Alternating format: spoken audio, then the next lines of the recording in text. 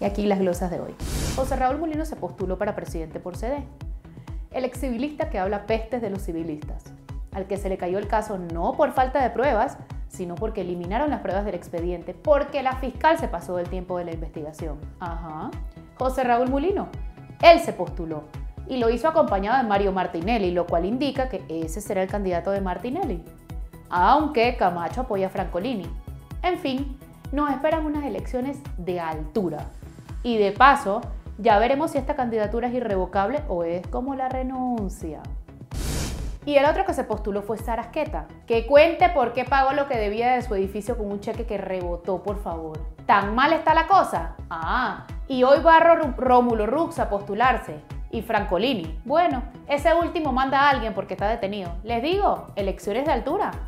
Y la jueza de garantías Kenia Marín decidió mantener suspendido al juez Felipe Fuentes el que disque votó los documentos de Financial Pacific hasta el primero de julio que vence la investigación. Yo asumo que ese mismo día los van a destituir, ¿no? Mínimo. Y revisar sus cuentas bancarias. Porque si no, estaríamos frente a otro capítulo más de Aquí no pasa nada. Y después de la glosa en la que conté que Mariela Ledesma y Ricardo Lombana le dieron una buena arrastrada a Cabacho, él me escribió diciéndome que después no me quejara. La vez pasada me llamó Flor Cadáver en Twitter y borró el tweet. Y cuando le escribí por WhatsApp que se portara bien, me dijo que ese era el nombre de una flor. Ayer, luego del chat, tuiteó que lo que pasaba era que yo estaba enamorada de él. Ahora resulta que estoy enamorada de cada hombre del que hablo y con el que hablo. ¿Estaría enamorada de medio Panamá, pues? Por favor. Además, eso de después no te quejes y flor cadáver, en cualquier país civilizado es una amenaza. Pero le digo, yo no le tengo miedo ni a usted ni a nadie porque yo voy con la verdad. Y mi mensaje a todos, no solamente a él, si quieren que lo suelte, pórtense como ciudadanos decentes. Eso depende de ustedes, no de mí.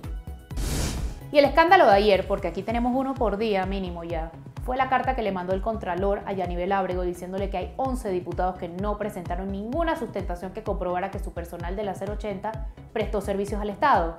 O sea, o botellas o contratos inventados o simplemente son irresponsables y no les dio la gana de rendir cuentas. Y los diputados son Aris de Icaza, Carlos Mota, Elías Castillo, Fernando Carrillo, Jaime Pedrol, Popi Varela, Juan Serrano, Melitón Arrocha, Salvador Real, Atenas Atanasiadis y Jorge Alberto Rosas.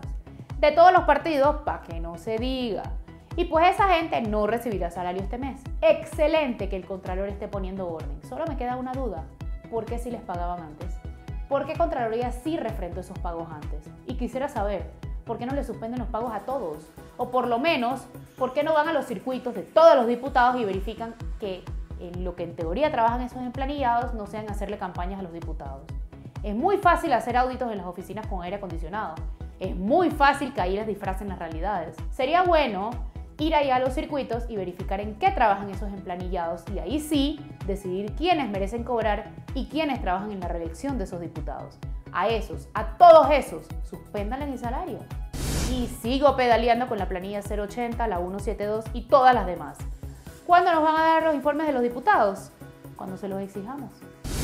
Ajá. Y ya salió a CEP diciendo que lo de penalizar el uso de paneles solares era solo una consulta pública para, oigan esto, que todas las instalaciones de autoabastecimiento, y leo, se acojan a una tarifa con demanda con el propósito de que los usuarios paguen razonablemente por los servicios que obtienen de la red. Y que inclusive con el pago de las instalaciones solares, ellas son rentables. No pagar por los servicios de la red aumenta la rentabilidad del que instala los paneles, pero a costilla de los que no tienen paneles instalados. Ajá. Yo pensé lo mismo. Eso no lo entiende ni él. ¿O será ese el propósito? Que no entendamos.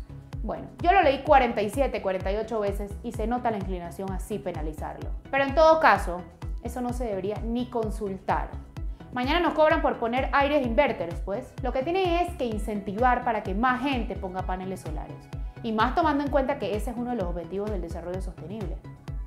Hoy ayer salió el vicecanciller Luis Miguel Incapié diciendo que los 100 mil dólares del viaje a Rusia son porque movilizar el presidente cuesta y porque hay que tener por si le pasa algo a los 4 mil panameños que van a ir al mundial. Pero que si sobra algo se devolverá. Ojalá tres cosas. Que lo que diga sea cierto, que no sea plata para la manzanillera y que no pase nada. Y yo quiero ver esa plata de regreso. Y los saluditos de hoy le van al ministro del MOB. Ministro, la nueva, entre comillas, calzada de Amador ya está vuelta a nada. Toda reventada la malla asfáltica, ondulaciones, huecos. Nos cobran millones para hacer porquerías.